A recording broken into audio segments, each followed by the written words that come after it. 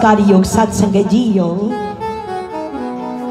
ਸਹਿਬ ਸ੍ਰੀ ਗੁਰੂ ਗ੍ਰੰਥ ਸਾਹਿਬ ਜੀ ਮਹਾਰਾਜ, ਜਿਨ੍ਹਾਂ ਦੀ ਪਾਵਨ ਹਜ਼ੂਰੀ ਵਿੱਚ ਬੈਠ ਕੇ ਆਪ ਜੀ ਇਹਨਾਂ ਦਰਗਾਹੀ ਘੜੀਆਂ ਦਾ ਆਨੰਦ ਲੈ ਰਹੇ ਹੋ। ਸਤਿਗੁਰਾਂ ਦੀ ਬਖਸ਼ੀ, ਫਤਿਹ ਪ੍ਰਵਾਨ ਕਰੋ, ਨਾਲ ਆਪਣੀ ਅਸੀਸ ਬਖਸ਼ੋ, ਤਾਂ ਜੋ ਕੀਰਤਨ ਦੁਆਰਾ ਆਪ ਸੰਗਤਾਂ ਦੀ ਸੇਵਾ ਕਰ ਸਕੀਏ। ਆਓ ਸਾਰੇ ਪਿਆਰ ਨਾਲ ਫਤਿਹ ਬੁਲਾਓ। ਵਾਹਿਗੁਰੂ ਜੀ ਕਾ ਖਾਲਸਾ। ਵਾਹਿਗੁਰੂ ਜੀ ਕੀ ਫਤਿਹ। ਸਹਿਬ ਬਾਣੀ ਵਿੱਚ ਫਰਮਾਨ ਕਰਦੇ ਨੇ, ਜੀ ਕੀ ਬਿਰਥਾ ਹੋਏ ਸੋ ਗੁਰ ਪੈ ਅਰਦਾਸ ਕਰ। ਮਹਾਰਾਜ ਕਹਿੰਦੇ ਨੇ, ਤੇਰੇ ਮਨ ਵਿੱਚ ਜੋ ਵੀ ਇੱਛਾ ਹੈ, ਆਪਣੇ ਸਤਿਗੁਰੂ ਨਾਨਕ ਅੱਗੇ ਅਰਦਾਸ ਕਰ।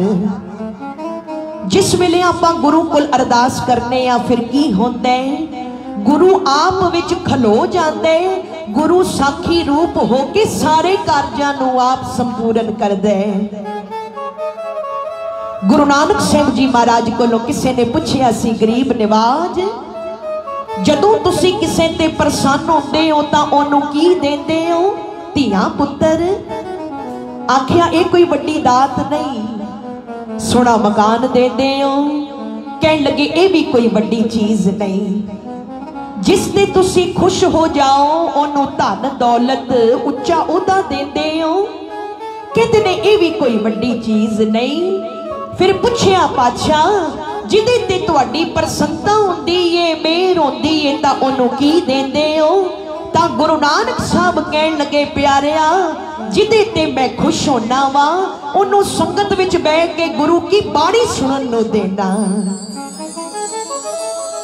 ਪਿਆਰਿਓ, ਬੜੇ ਵੱਡਿਆ ਭਾਗਾਂ ਵਾਲੇ ਹੋ।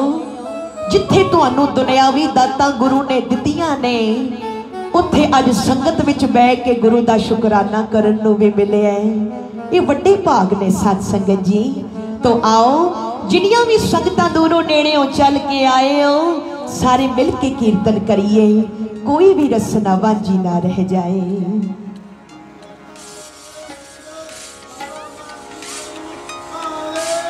Oh,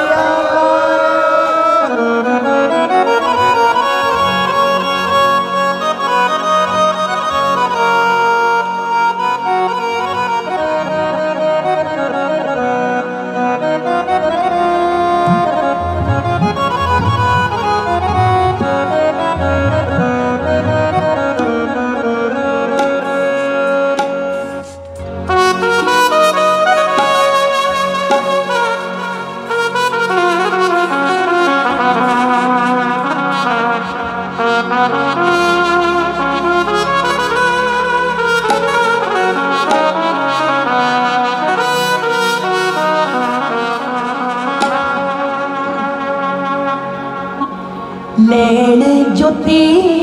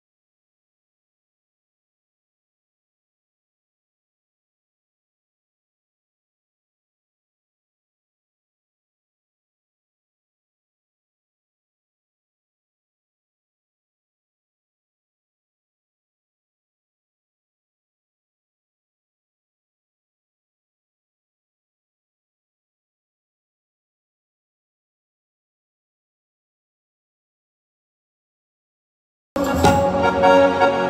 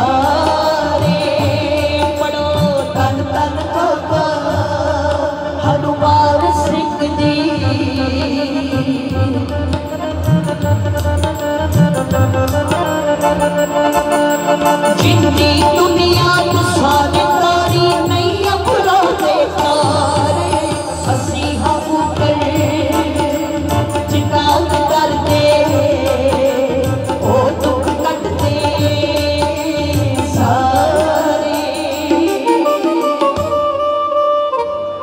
ਜਿਤਨੇ ਵੀ ਸਤਸੰਗੀ ਆਏ ਹੋ, ਤੁਸੀਂ ਸਾਰੇ ਹੀ ਅਮਰ ਸ਼ਹੀਦ ਬਾਬਾ ਹਨੂਮਾਨ ਸਿੰਘ ਜੀ। ਉਹਨਾਂ ਮਹਾਂਪੁਰਸ਼ਾਂ ਨਾਲ ਬੜਾ ਪਿਆਰ ਕਰਨ ਵਾਲੇ ਹੋ।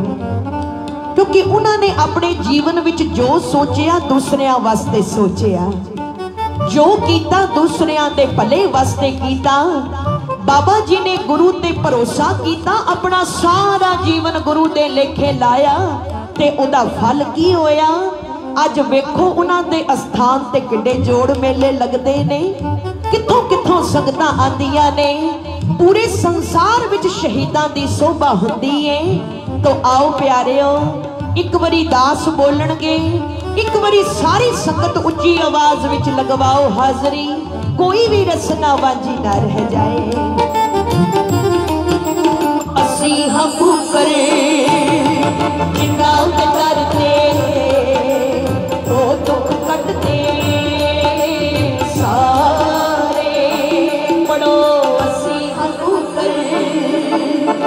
ਜਿੰਨਾ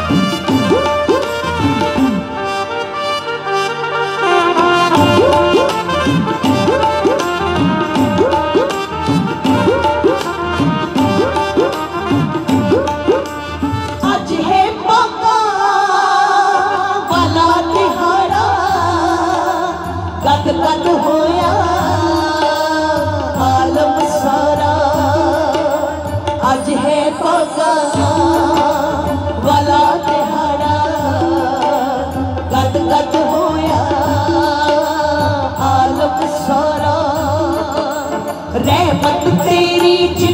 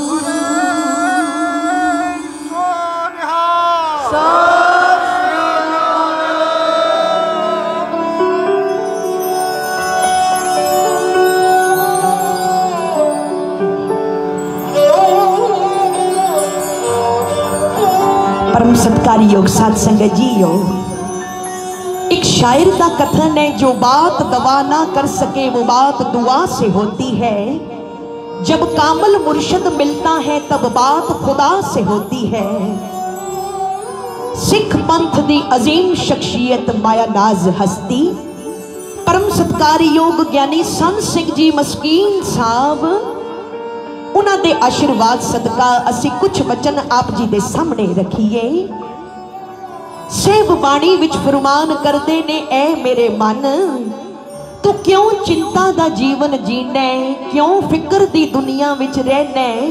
ਤੇਰਾ ਤਾਂ ਗੁਰੂ ਪੂਰ ਹੈ ਵਿਸ਼ਵਾਸ ਤਾਂ ਕਰਕੇ ਦੇਖ ਕੇ ਮੇਰਾ ਗੁਰੂ ਪੂਰ ਹੈ ਜਿਹਦੇ ਅੱਗੇ ਮੈਂ ਅਰਦਾਸ ਕਰ ਰਿਹਾ, ਉਹ ਮੇਰੀ ਅਰਦਾਸ ਸੁਣੇਗਾ।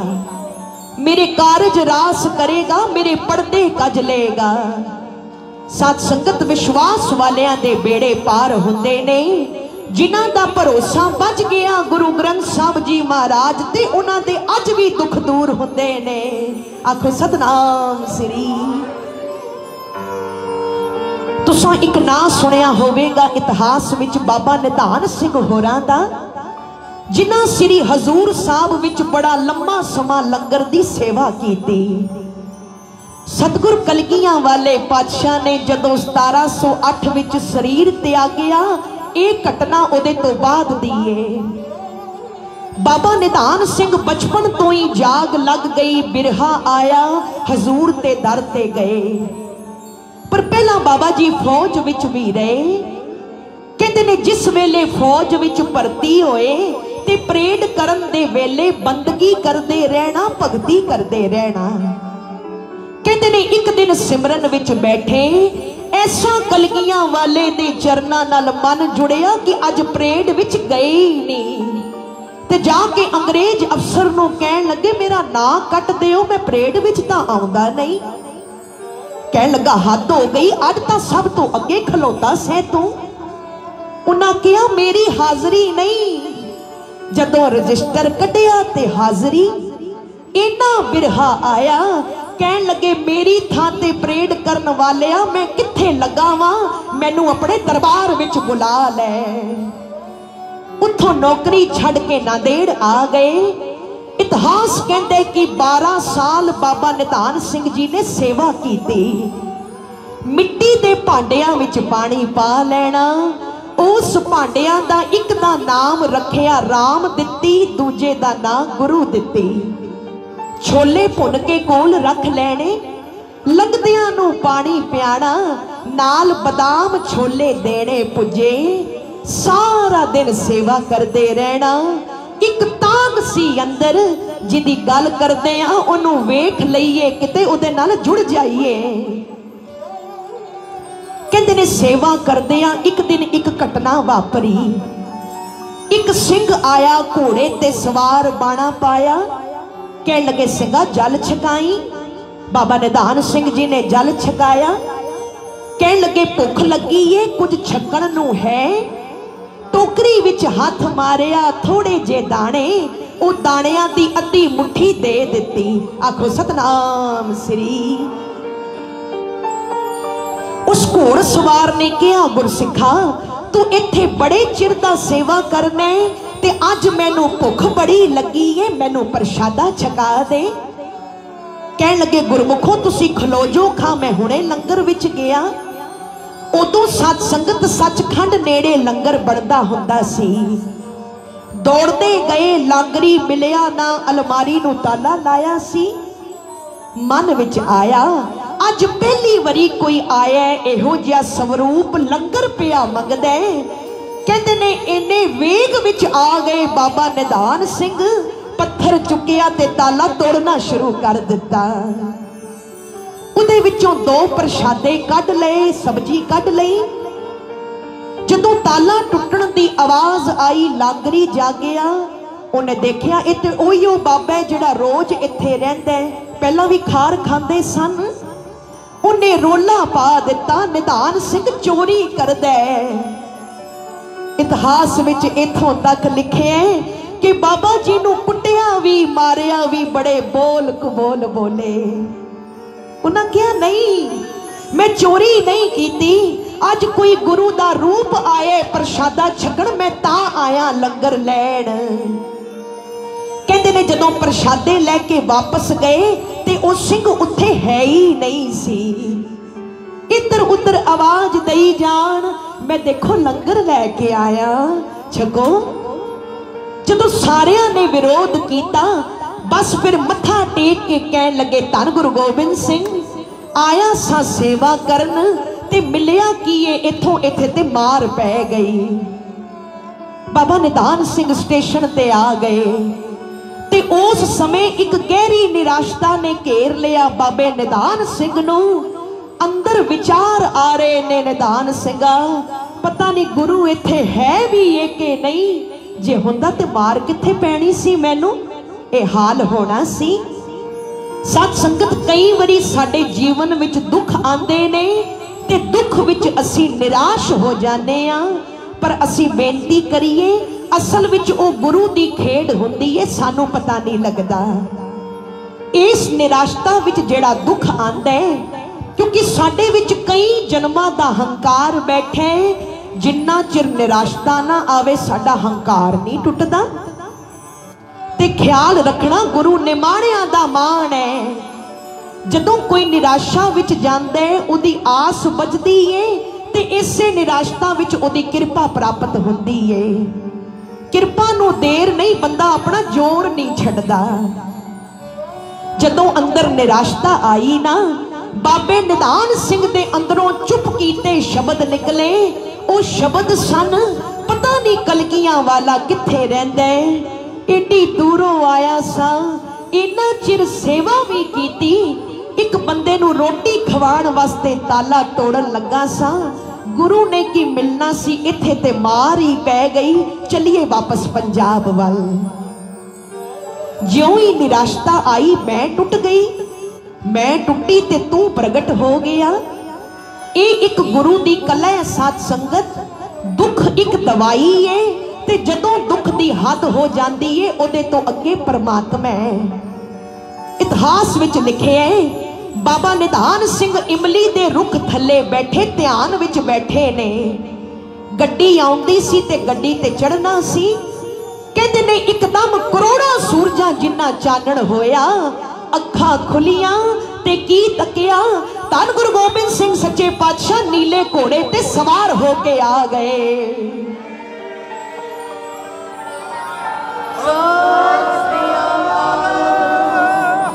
ਵੇਲੇ ਕਲਗੀਆਂ ਵਾਲੇ ਨੂੰ ਤੱਕਿਆ, ਬਾਬੇ ਨਿਦਾਨ ਸਿੰਘ ਦੇ ਹੱਥ ਜੁੜ ਗਏ ਤੇ ਜ਼ਾਰੋ ਜ਼ਾਰ ਰੋ ਪਏ।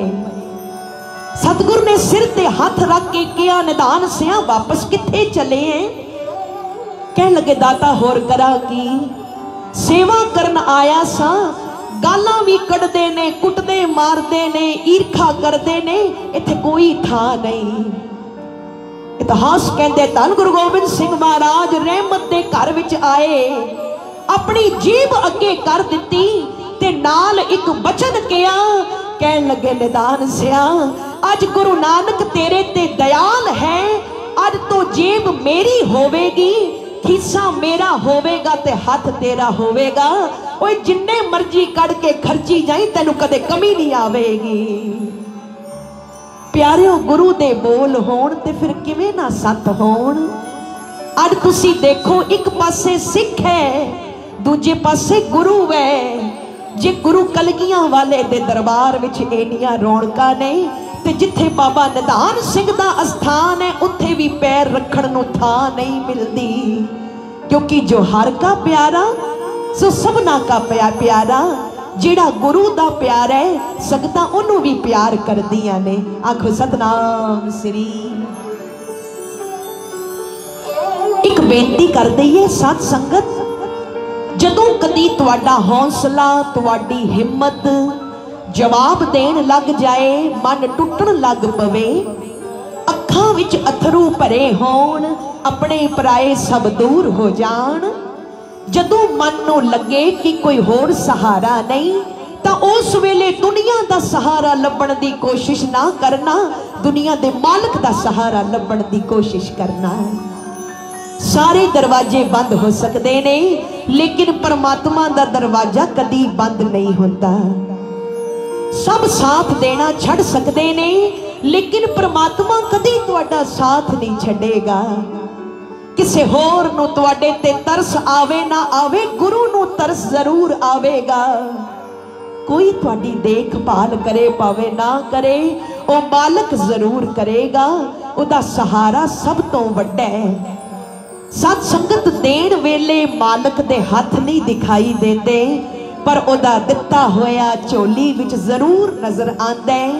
ਇਸ ਵਾਸਤੇ ਅਗਰ ਅਰਦਾਸ ਕਰਨੀ ਹੈ ਤੇ ਗੁਰੂ ਅੱਗੇ ਕਰੋ ਜਿਹੜਾ ਸਭ ਦੀਆਂ ਅਰਦਾਸਾਂ ਸੁਣਦਾ ਹੈ खुदा मंजूर करता है दुआ जब दिल से होती है मगर मुश्किल तो ये है ये बड़ी मुश्किल से होती है आओ सारे मिलके जपो जी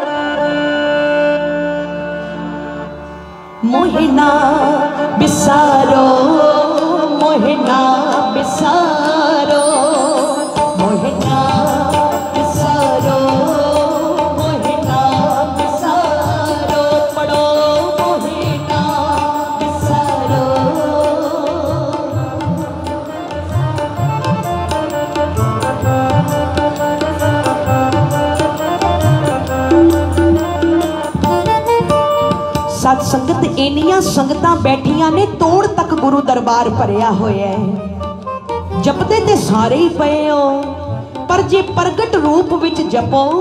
ਇੱਕ ਵਾਰੀ ਬੋਲੋਗੇ ਤਾਂ ਕਿੰਨੀਆਂ ਆਵਾਜ਼ਾਂ ਕੰਨਾਂ ਵਿੱਚ ਪੈਣਗੀਆਂ। ਜਿਹੜੇ ਪਿੱਛੇ ਬੈਠੇ ਨੇ, ਉਹ ਵੀ ਜ਼ਰੂਰ ਬੋਲਦੇ ਹੋਣਗੇ। ਪਰ ਇੰਨੀ ਸੰਗਤ ਹੋਵੇ ਤੇ ਗੁਰੂ ਦਰਬਾਰ ਤੇ ਗੂੰਜਣਾ ਚਾਹੀਦਾ ਆਓ, ਕਿਸੇ ਨੂੰ ਕੁਝ ਚਾਹੀਦਾ, ਕਿਸੇ ਨੂੰ ਕੁਝ ਚਾਹੀਦਾ ਜੋ ਚਾਹੀਦਾ ਮੰਗੋ ਸਤਿਗੁਰ ਕੋਲੋਂ। ਸਾਰੇ ਮਿਲ ਕੇ ਕਿਰਪਾ ਕਰੋ ਜੀ।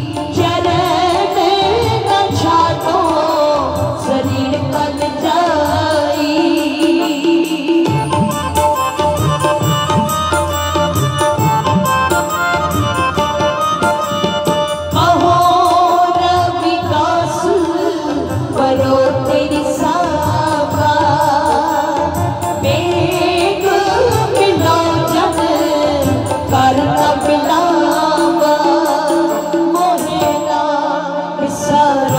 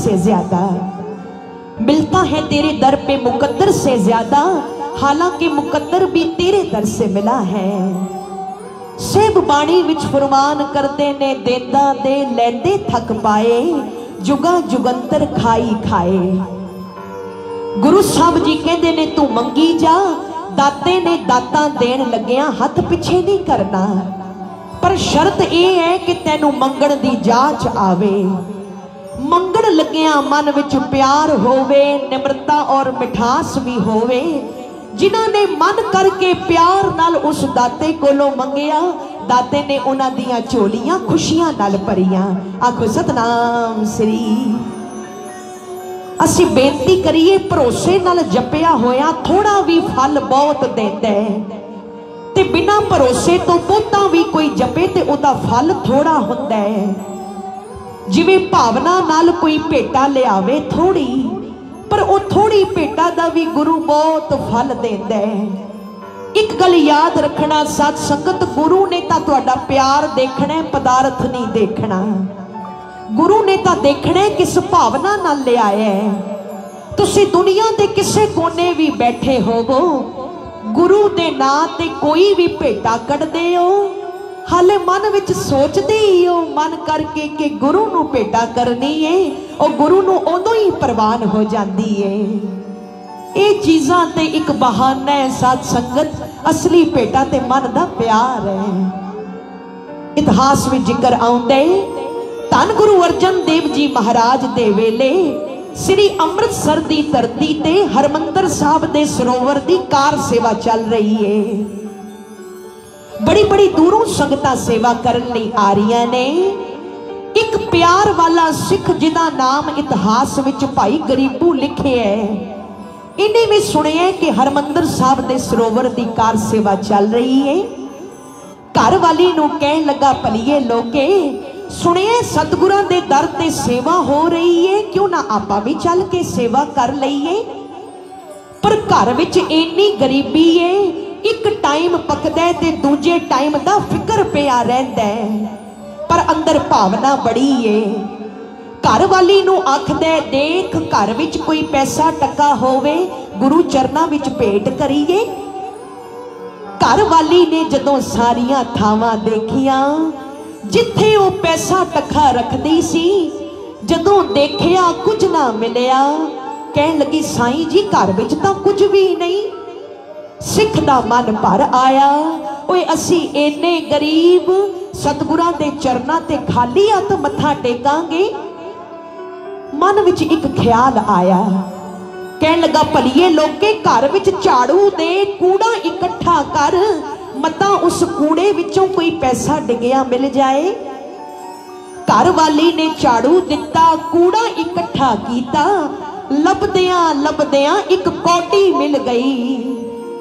ਜਦੋਂ ਕੌਡੀ ਮਿਲੀ, ਸਿੱਖ ਨੇ ਹੱਥ ਜੋੜ ਕੇ ਮਾਲਕ ਦਾ ਧੰਨਵਾਦ ਕੀਤਾ। ਮਾਲਕ, ਤੇਰਾ ਸ਼ੁਕਰ ਹੈ ਕੌਡੀ ਤਾਂ ਮਿਲੀ। ਖਾਲੀ ਹੱਥ ਤਾਂ ਨਹੀਂ, ਮੱਥਾ ਟੇਕਾਂਗੇ। ਮਹਾਂਪੁਰਸ਼ ਬਚਨ ਕਰਿਆ ਕਰਦੇ ਸਨ ਕਿ ਜਿਸ ਵੇਲੇ ਵੀ ਗੁਰੂ ਦੇ ਦਰ ਤੇ ਆਓ, ਖਾਲੀ ਹੱਥ ਕਦੇ ਨਾ ਆਓ। ਭਾਵੇਂ ਆਂਦਿਆਂ ਕੁਝ ਨਹੀਂ ਤੇ ਇੱਕ ਫੁੱਲ ਹੀ ਲੈ ਆਓ। ਤੇ ਆਖਦੇ ਸਨ, ਜੇ ਤੇਰੀ ਇਤਨੀ ਵੀ ਸਮਰੱਥਾ ਨਹੀਂ ਨਾ ਪਿਆਰਿਆ ਤਾਂ ਹੱਥੋਂ ਭਾਵੇਂ ਖਾਲੀ ਆ ਜਾਵੀਂ, ਗੁਰੂ ਦੇ ਘਰ, ਪਰ ਪ੍ਰੇਮ ਤੋਂ ਖਾਲੀ ਨਾ ਆਵੀਂ। ਸਿਦਕੋਂ ਖਾਲੀ ਨਾ ਆਵੀਂ। ਕੌਡੀ ਲਈ ਤੇ ਦੋਨੋਂ ਜੀ ਤੁਰ ਪਏ। ਜਿਸ ਵੇਲੇ ਹਰਮੰਦਰ ਸਾਹਿਬ ਪਹੁੰਚੇ ਤਾਂ ਕੀ ਤੱਕਿਆ? ਪਰ ਕਰਮਾਂ ਵਿੱਚ ਕਾਰ ਸੇਵਾ ਚੱਲ ਰਹੀ ਏ, ਹਜ਼ਾਰਾਂ ਸੰਗਤਾਂ ਸੇਵਾ ਕਰ ਰਹੀਆਂ ਨੇ। ਇਹ ਸਿੱਖ ਘਰ ਵਾਲੀ ਨੂੰ ਕਹਿਣ ਲੱਗਾ ਪਲੀਏ ਲੋਕੇ ਪਹਿਲਾਂ ਸਤਿਗੁਰਾਂ ਦੇ ਦਰਸ਼ਨ ਕਰ ਆਈਏ, ਫਿਰ ਆ ਕੇ ਸੇਵਾ ਕਰਾਂਗੇ। ਜਿਸ ਵੇਲੇ ਗੁਰੂ ਦਰਬਾਰ ਵਿੱਚ ਪਹੁੰਚੇ, ਜਿਵੇਂ ਆਪ ਸਜੇ ਹੋ ਨਾ ਇਉਂ ਹੀ ਸੰਗਤਾਂ ਸਜੀਆਂ ਸਨ। ਜਿਵੇਂ ਹੁਣ ਗੁਰੂ ਗ੍ਰੰਥ ਸਾਹਿਬ ਜੀ ਮਹਾਰਾਜ ਦਾ ਪ੍ਰਕਾਸ਼ ਹੈ, ਇਉਂ ਸਿੰਘਾਸਣ ਤੇ ਗੁਰੂ ਅਰਜਨ ਦੇਵ ਜੀ ਮਹਾਰਾਜ ਬਿਰਾਜਮਾਨ ਸਨ। ਨੂਰੀ ਨੂਰ ਚਿਹਰਾ, ਜਿਵੇਂ ਕਰੋੜਾਂ ਸੂਰਜ ਚਮਕਦੇ ਹੋਣ ਇਤਨਾ ਨੂਰ ਹੈ ਗੁਰੂ ਅਰਜਨ ਦੇਵ ਜੀ ਮਹਾਰਾਜ ਦੇ ਚਿਹਰੇ ਤੇ। ਕੀਰਤਨ ਹੋ ਰਿਹਾ ਸੰਗਤਾਂ ਜੁੜੀਆਂ ਬੈਠੀਆਂ ਨੇ। ਕੁਝ ਸੰਗਤਾਂ ਪੰਗਤ ਵਿੱਚ ਖਲੋਤੀਆਂ ਨੇ ਸਤਿਗੁਰਾਂ ਦੇ ਦੀਦਾਰ ਕਰਨ ਲਈ। ਇਹ ਦੋਨੋਂ ਪਤੀ ਪਤਨੀ ਵੀ ਉਸ ਲਾਈਨ ਵਿੱਚ ਜਾ ਕੇ ਖਲੋ ਗਏ। ਜਦੋਂ ਮੱਥਾ ਟੇਕਣ ਦੀ ਵਾਰੀ ਆਈ, ਤਾਂ ਸਿੱਖ ਨੇ ਦੂਰੋਂ ਦੇਖਿਆ ਵੀ ਸਤਿਗੁਰਾਂ ਅੱਗੇ ਮਾਇਆ ਦਾ ਢੇਰ ਲੱਗੇ ਕਹਿਣ ਲੱਗਾ, ਏਡੇ ਵੱਡੇ ਦਰਬਾਰ ਵਿੱਚ ਇਹ ਕੋਟੀ ਕਿਵੇਂ ਅੱਗੇ ਰੱਖਾਂ? ਉਹ ਜਿਹੜੀ ਕੋਟੀ ਸੀ ਨਾ, ਆਪਣੇ ਪੱਗ ਦੇ ਪੇਚ ਵਿੱਚ ਛੁਪਾ ਲਈ। ਕਹਿੰਦੇ, ਜਦੋਂ ਸਤਿਗੁਰ ਕੱਲੇ ਹੋਣਗੇ ਤਾਂ ਭੇਟਾ ਅਰਪਣ ਕਰ ਦਿਆਂਗਾ। ਆਖੋ, ਸਤਨਾਮ ਸ੍ਰੀ ਕੋਡੀ ਲਈ ਇਹ ਦੋਨੋਂ ਪਤੀ ਪਤਨੀ ਲਾਈਨ ਵਿੱਚੋਂ ਬਾਹਰ ਨਿਕਲ ਗਏ ਤੇ ਪਿੱਛੇ ਜਾ ਕੇ ਸੰਗਤ ਵਿੱਚ ਬਹਿ ਗਏ। ਸੰਗਤਾਂ ਆਪੋ ਆਪਣੀਆਂ ਭੇਟਾਂ ਅਰਪਣ ਕਰਦੀਆਂ ਗਈਆਂ, ਕੀਰਤਨ ਦਾ ਭੋਗ ਪਿਆ। ਬਾਬਾ ਬੁੱਢਾ ਜੀ ਨੇ ਬੇਨਤੀ ਕੀਤੀ, ਸਤਿਗੁਰੂ, ਆਗਿਆ ਦਿਓ, ਅਰਦਾਸ ਕੀਤੀ ਜਾਵੇ। ਸੇਵ ਕਹਿਣ ਲੱਗੇ, ਬਾਬਾ ਜੀ, ਬੜੀ ਦੂਰੋਂ ਮੇਰੀਆਂ ਪਿਆਰ ਵਾਲੀਆਂ ਰੂਹਾਂ ਆਈਆਂ ਨੇ। ਭੇਟਾ ਲੈ ਕੇ ਆਏ ਨੇ, ਪਰ ਭੇਟਾ ਅਰਪਣ ਨਹੀਂ ਕੀਤੀ। ਜਿੰਨੀ ਦੇਰ ਉਹ ਭੇਟਾ ਨਾ ਅਰਪਣ ਕਰ ਲੈਣ ਉਨੀ ਦੇਰ ਤੱਕ ਅਰਦਾਸ ਕਿਵੇਂ ਕੀਤੀ ਜਾਵੇ? ਜਦੋਂ ਸਿੱਖ ਦੇ ਕੰਨਾਂ ਵਿੱਚ ਇਹ ਆਵਾਜ਼ ਪਈ ਤਾਂ ਹੁਣ ਸਿੱਖ ਨੇ ਨੀਵੀਂ ਪਾ ਲਈ। ਮਨ ਵਿੱਚ ਆਖਦਾ ਮਨਾ, ਪਹਿਲਾਂ ਭੇਟਾ ਅਰਪਣ ਕਰ ਦਿੰਦਾ, ਸਤਿਗੁਰ ਦੇਖਦੇ, ਨਾ ਦੇਖਦੇ। ਹੁਣ ਭਰੀ ਸੰਗਤ ਵਿੱਚ ਉੱਠ ਕੇ ਕੋਡੀ ਮੱਥਾ ਟੇਕਾਂਗਾ। ਲੋਕ ਕੀ ਕਹਿਣਗੇ, ਇਹ ਕੋਡੀ ਲੁਕਾ ਕੇ ਬੈਠੇ? ਘਰੋਂ ਸਿਰਫ ਕੌਡੀ ਲੈ ਕੇ ਆਇਆ, ਤਾਂ ਵੀ ਮੱਥਾ ਨਹੀਂ ਟੇਕਿਆ। ਹੁਣ ਹੋਰ ਸ਼ਰਮ ਆ ਗਈ। ਬਾਬਾ ਬੁੱਢਾ ਜੀ ਨੇ ਦੂਜੀ ਵਾਰ ਬੇਨਤੀ ਕੀਤੀ, ਪਾਤਸ਼ਾਹ, ਆਗਿਆ ਦਿਓ, ਅਰਦਾਸ ਕੀਤੀ ਜਾਵੇ। ਸੰਗਤਾਂ ਬੜੀ ਬੜੀ ਦੂਰੋਂ ਆਈਆਂ ਨੇ। ਲੰਗਰ ਦਾ ਵੇਲਾ ਹੋ ਗਿਆ, ਲੰਗਰ ਵਰਤਾਇਆ ਜਾਵੇ।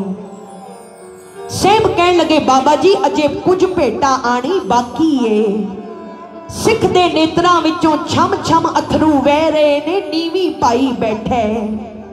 ਬਾਬਾ ਬੁੱਢਾ ਜੀ ਨੇ ਤੀਜੀ ਵਾਰ ਬੇਨਤੀ ਕੀਤੀ, ਸਤਿਗੁਰ ਜੀ, ਸਾਰਿਆਂ ਨੇ ਭੇਟਾ ਅਰਪਣ ਕਰ ਦਿੱਤੀ ਏ।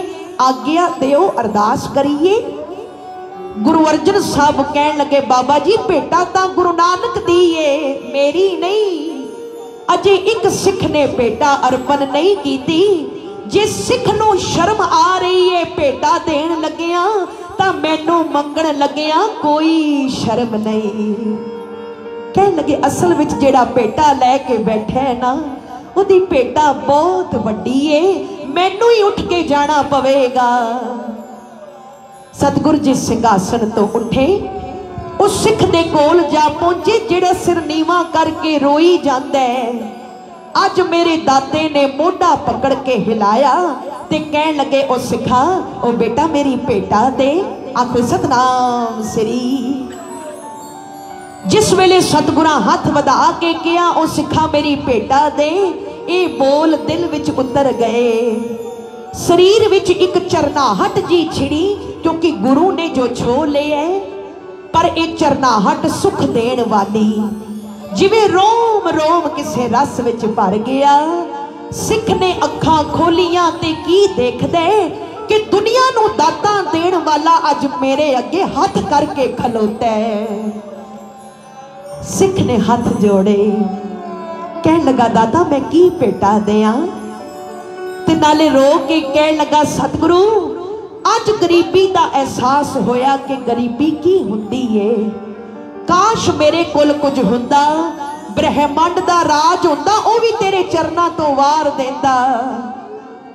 ਸਤਿਗੁਰਾ ਹੱਥ ਵਧਾਇਆ, ਇਹਦੇ ਪੱਗ ਦੇ ਪੇਚ ਵਿੱਚੋਂ ਕੋਡੀ ਕੱਢ ਲਈ ਤੇ ਹੱਥ ਦੀ ਤਲੀ ਤੇ ਰੱਖ ਕੇ ਕਹਿਣ ਲੱਗੇ ਹੋਏ, ਸਿੱਖਾ, ਇਤਨੇ ਪਿਆਰ ਨਾਲ ਭੇਟਾ ਲਿਆਇਆ ਫਿਰ ਦਿੱਤੀ ਕਿਉਂ ਨਹੀਂ? ਕਹਿੰਦੇ, ਪਾਤਸ਼ਾਹ, ਤੁਹਾਡੇ ਅੱਗੇ ਮਾਇਆ ਦਾ ਢੇਰ ਲੱਗਾ ਦੇਖਿਆ ਮੈਨੂੰ ਕੋਡੀ ਰੱਖਦਿਆਂ ਸ਼ਰਮ ਆ ਗਈ ਕਿ ਏਡੀ ਮਾਇਆ ਦੇ ਢੇਰ ਸਾਹਮਣੇ ਇਹ ਕੋਡੀ ਕੀ ਚੀਜ਼ ਏ? ਇਹ ਤਾਂ ਕੁਝ ਵੀ ਨਹੀਂ। ਧੰਨ ਗੁਰੂ ਅਰਜਨ ਸਾਹਿਬ ਕਹਿਣ ਲੱਗੇ, ਪਿਆਰਿਆ, ਇਹ ਤੇਰੇ ਪਿਆਰ ਦੀ ਭੇਟ ਹੈ, ਇਹ ਪ੍ਰੇਮ ਦੀ ਭੇਟ ਹੈ, ਓਏ ਤੇਰੀ ਭੇਟਾ ਦੇ ਸਾਹਮਣੇ ਇਹ ਮਾਇਆ ਦਾ ਢੇਰ ਵੀ ਤੁੱਛ ਹੈ। ਮੇਰੇ ਸਤਿਗੁਰਾਂ ਨੇ ਦੋਨਾਂ ਹੱਥਾਂ ਦੀਆਂ ਮੁੱਠਾਂ ਮੀਟ ਲਈਆਂ। ਕਹਿਣ ਲੱਗੇ, ਸਿਖਾ, ਇਸ ਵਿੱਚ ਲੋਕ ਦੇ ਸੁਖ ਨਹੀਂ, ਇਸ ਵਿੱਚ ਪਰਲੋਕ ਦੇ। ਦੱਸ ਕੇ ਸਿੱਖ ਨੇ ਹੱਥ ਜੋੜੇ। ਕਹਿਣ ਲੱਗਾ, ਦਾਦਾ, ਜੇ ਨਾਮ ਨਹੀਂ ਦੇਣਾ ਆਪਣਾ, ਸਿਰਫ ਧਨ ਦੇਣਾ ਤੇ ਧਨ ਨਾਲ ਤੇ ਕਈ ਵਾਰੀ ਬੰਦਾ ਪਰਮਾਤਮਾ ਨੂੰ ਭੁੱਲ ਜਾਂਦਾ ਹੈ। ਤੇ ਜੇ ਨਾਮ ਮਿਲ ਜਾਵੇ, ਧਨ ਨਾ ਮਿਲੇ, ਤਾਂ ਵੀ ਸਮਾਜ ਵਿੱਚ ਕੋਈ ਇੱਜ਼ਤ ਨਹੀਂ ਦਿੰਦਾ। ਪਾਤਸ਼ਾਹ ਜੇ ਦਇਆਲ ਹੋਏ ਐ ਤਾਂ ਲੋਕ ਪਰਲੋਕ ਦੋਨਾਂ ਦੇ ਸੁਖ ਮੇਰੀ ਝੋਲੀ ਵਿੱਚ ਪਾ। ਧੰਨ ਗੁਰੂ ਅਰਜਨ ਸਾਹਿਬ ਰਹਿਮਤ ਦੇ ਘਰ ਵਿੱਚ ਆਏ ਤੇ ਕਹਿਣ ਲੱਗੇ, ਜਾ ਸਿੱਖਾ ਗੁਰੂ ਨਾਨਕ ਤੇਰੇ ਤੇ ਨਿਹਾਲ। ਓਏ, ਤੇਰਾ ਲੋਕ ਵੀ ਸੁਖੀ ਹੋਇਆ, ਤੇਰਾ ਪਰਲੋਕ ਵੀ ਸੁਹੇਲਾ ਹੋਇਆ।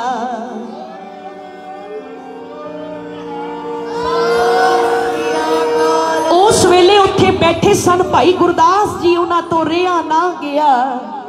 ਭਾਈ ਸਾਹਿਬ ਨੇ ਉਸ ਵੇਲੇ ਇੱਕ ਪੌੜੀ ਲਿਖੀ, ਵਾਰ ਲਿਖੀ, ਭਾਵਨੀ ਭਗਤ ਪਾਏ, ਕੋਟੀ ਅਗਰ ਭਾਗ ਰੱਖੇ, ਤਾਹੇ ਗੁਰ ਸਰਬ ਨਿਧਾਨ ਦਾਨ ਦੇਤ ਹੈ।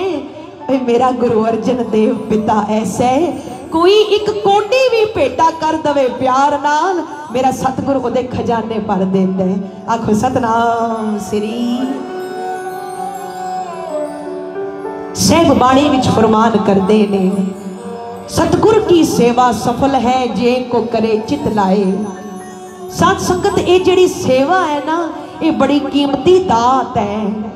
ਸੰਗਤ ਦੀ ਸੇਵਾ ਕਰਨ ਦਾ ਬਹੁਤ ਵੱਡਾ ਮਹੱਤਵ ਹੈ।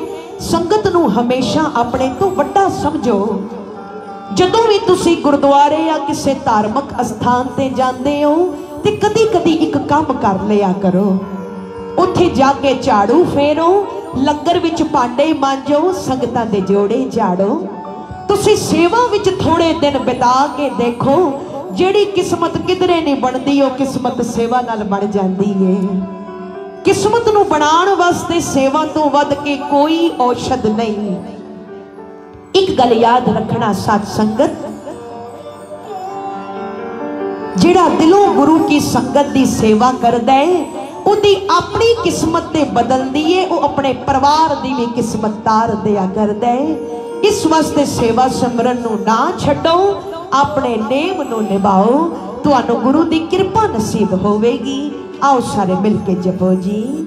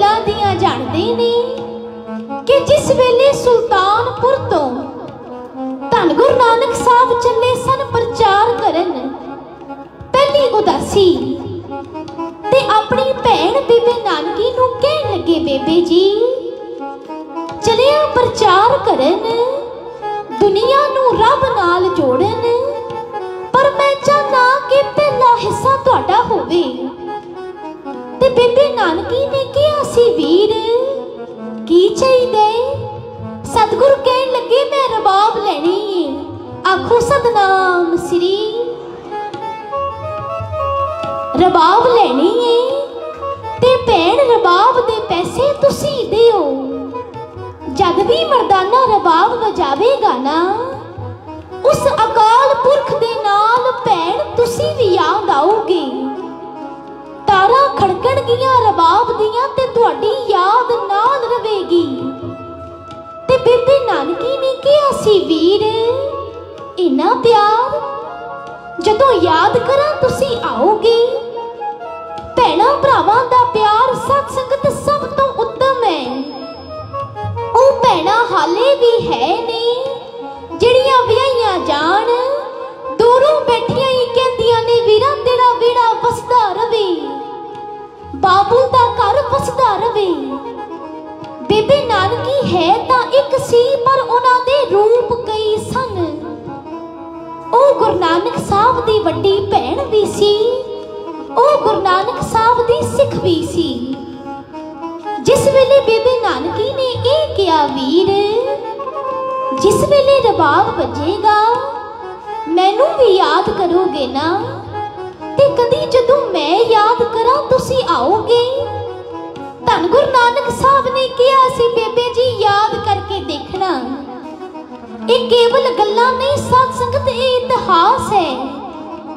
ਇਸੇ ਸੁਲਤਾਨਪੁਰ ਲੋਧੀ ਵਿੱਚ ਬੇਬੇ ਨਾਨਕੀ ਨੇ ਤਵੇ ਤੇ ਫੁਲਕਾ ਪਾਇਆ ਤੇ ਫੁਲਕਾ ਫੁੱਲਿਆ।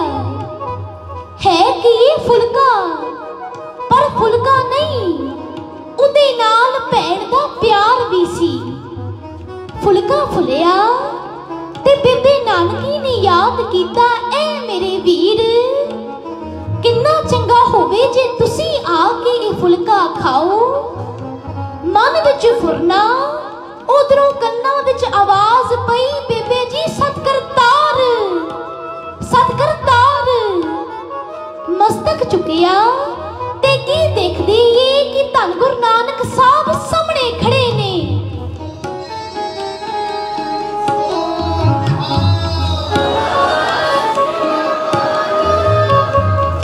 ਬੇਬੇ ਨਾਨਕੀ ਉੱਠੀ। ਉੱਠ ਕੇ ਮੱਥਾ ਟੇਕਣ ਲੱਗੀ, ਪਰ ਧੰਨ ਗੁਰੂ ਨਾਨਕ ਸਾਹਿਬ